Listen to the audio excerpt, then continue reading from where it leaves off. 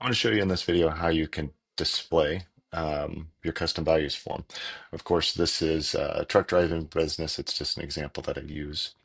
And so this uh, I've selected the sub account. I, I've built this custom values form from, and I'm just going to go ahead and here click edit. Now, if I click preview, it's going to be set up the way that I want it.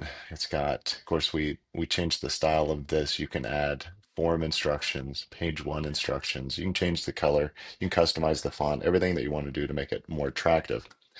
Uh, now, I don't want to share this preview link with my clients because it's going to control the custom values of the sub account that I built the form from.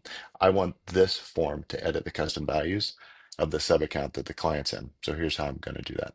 I'm just going to copy the custom menu link and I have two choices. I can add it as a custom menu link and show my clients how to use the left sidebar of the sub account, or if I want to iframe it in, I can certainly do that. So here's an example of how that I did it. So I just made a very simple funnel page. So the idea is, is inside of the snapshot that I'm pushing over to a new client, I'm going to build a funnel page and I can call it onboarding or update your business details. And then I'm going to iframe this form into that page. So then that way, part of the onboarding process, the client can just simply click the page, open it up, and then they're going to see a preview of the custom values. Now, when they first go in, of course, the custom values aren't going to be populated, but the form is going to show whatever defaults you've created when you built this custom values form.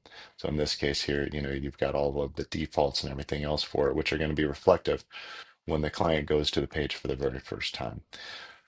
So hopefully this video answers how do you add the custom menu link either over to the left-hand side or show it inside of a funnel to where the client, a new client can update it um, whenever they need to.